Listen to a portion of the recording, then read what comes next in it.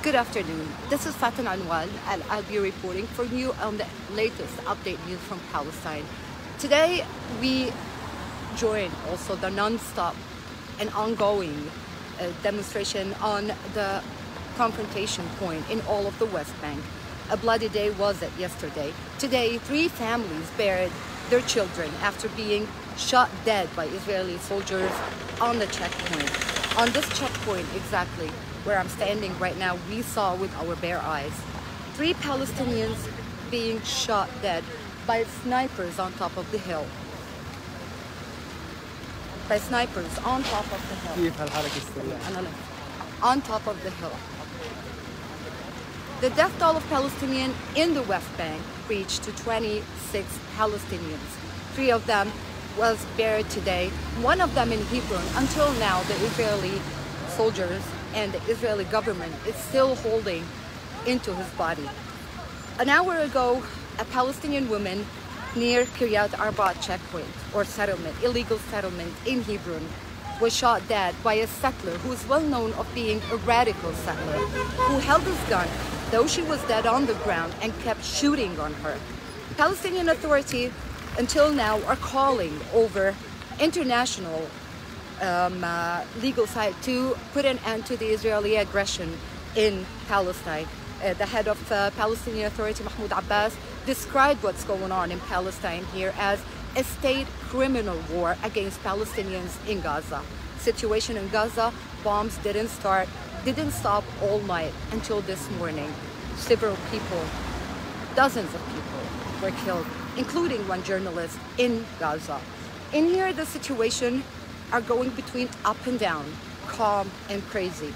At this checkpoint, we witnessed yesterday during the general strike eh, that went in the West Bank and in the occupied land in 48 and also in Gaza, we witnessed an unbe- unbelievable use of massive shooting towards civilians.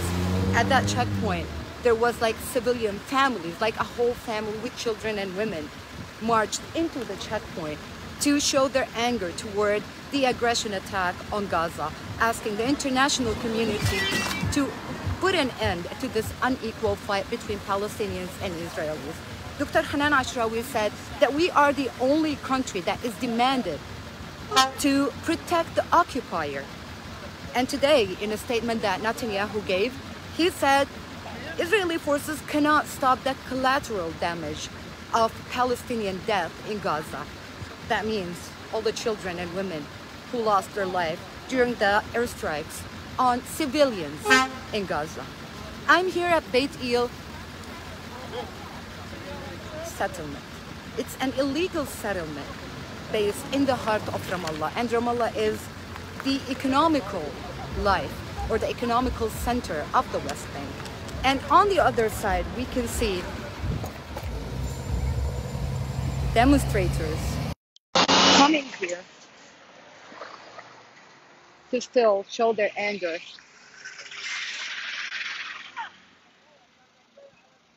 toward what's happening in Gaza. For people who were with us yesterday, they saw that this road was blocked. Now we can see the road is open. Palestinians manage to cross the road. And for you who just joined us,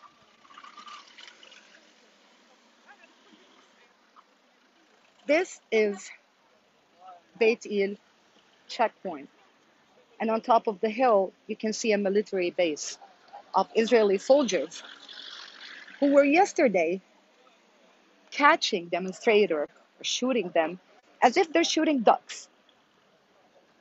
And we saw on top of the hill two Palestinian, two Israeli soldiers getting shot by one round of crossfire between Palestinians and Israelis. The bloody day that was yesterday came today as a little bit calmer. The demonstration started from 11 o'clock in the morning and went on until 12 o'clock at night. More than 500 Palestinians were injured. Dozens of them, or most of them, were hit with live ammunition in the head and the chest.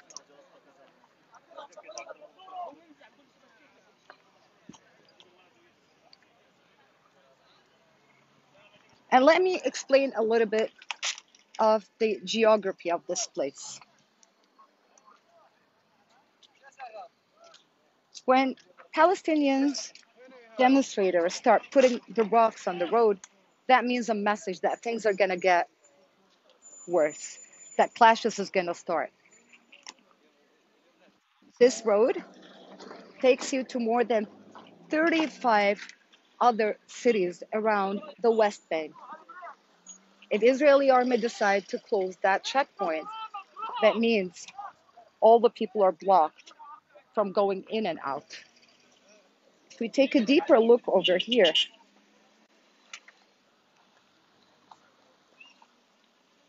you can see the sniper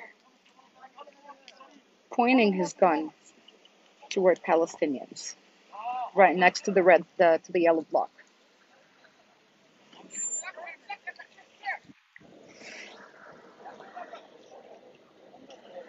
And this is technically how the difference of power is is held between Palestinians and Israeli. And this is how exactly the number of Palestinians that ranged to 500, 5,000 Palestinians who were shot badly in critical condition in the head and in the chest, and barely any of them in the beginning of the demonstrations in the knee in a system called by the Israeli forces shoot to cripple. Shoot to cripple is a way that Israel hit the knee to bring a generation of crippled Palestinians. And according to the Israeli forces, and a lot of the statement that we see on Facebook, Instagram, Twitter, they say that they're doing this they're killing more Palestinians. They're killing more Palestinians, so they will not grow up and kill them. And they they like they're proud of saying it, officially saying it. The war taken on Palestinians is not just a war on the ground. Ever since the latest uprising, Palestinians in here or abroad are facing an electronic war against them on Facebook, Instagram, and Snapchat and TikTok. The Palestinian content is being hidden by social media platform. And we have a lot of censorship going on and everything that you put on Facebook, my account on Facebook was banned. I cannot go live on my Facebook every single post that you put on Facebook, they just cover it with sensitive scene. But when it comes to an Israeli killing a Palestinian or attacking a Palestinian, it was it, we, you cannot see this over there. Yesterday we tried to go on live so many times, but then the internet was jammed. Like they did put equipment to jam the internet, so all this thousand protesters, journalists, everyone could not go on a live shot to cover what's going in what's going on in here. It was a chaos. It was a chaos yesterday. And let me add another another thing. During the night, like if you think demonstration during the day is the only aggression that Israel is performing against Palestinian, let's say about the Israeli arresting raid at night. 1,800 Palestinian was arrested during oh, the last 10 days. This is the highest number of this system of arresting Palestinian people from 2015. This is the highest number of the arresting system that Israel is applying on the ground. And anyone can be, according to the Israeli law, anyone can be a terrorist. Every single one on this checkpoint now the forces, the Israeli forces on top of the hill, they have a picture of them. They have the full title and name of them. They know where they live. And now he's under the threat of being arrested. Arrested and spending years and years in jail. And still, Palestinians are still coming to the demonstration point. Like you can see the variety of people, which is also a variety of people that we haven't seen in a very, very long time. We see women coming with their daughters, with their kids to the checkpoint. And the point is that while interviewing all all the families yesterday, asking them why do you get them to a dangerous point like this? And the answer was because I want them to know that what's happening in Gaza is what might happen to them.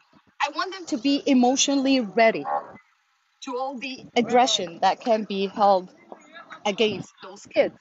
Imagine raising your kid on a base of emotionally being ready to be abused or to be under attack. What's normal for people all around the world is not normal for people in Palestine.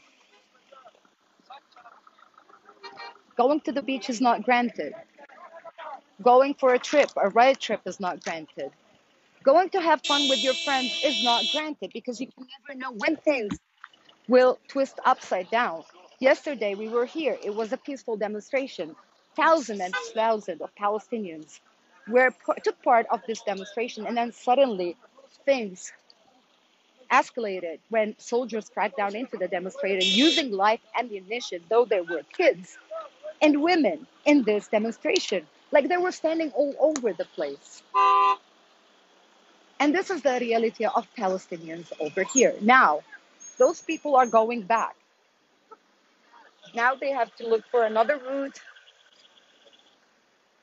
to go back to their home. And anger is rising up from this comparison of Hamas. That Hamas is the reason why Palestinians are, are suffering, why Palestinians are going through what they're going through. But then there's another debate saying that the Israeli occupation is older than Hamas. And people were killed and land was confiscated. And it doesn't make sense that Hamas rockets is the reason for all this aggression being held against Palestinians. So the latest news, as things are calm, uh, as things are calm, and uh,